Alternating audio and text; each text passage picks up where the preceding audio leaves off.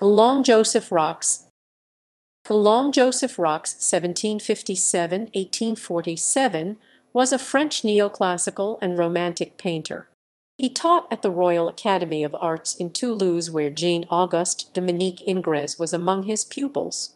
He was a prolific artist, and one of the most notable exponents of neoclassicism outside of the centre of the movement in Paris, though later in life he tended towards romanticism.